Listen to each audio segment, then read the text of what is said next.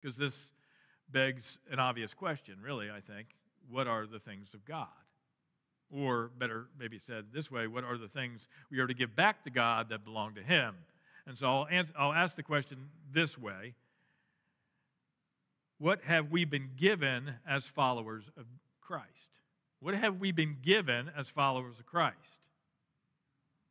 We have been given, folks, new life. have been given new life in Christ.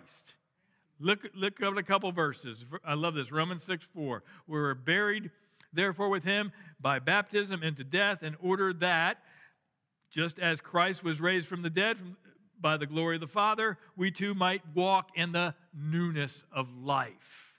For God gives us new life.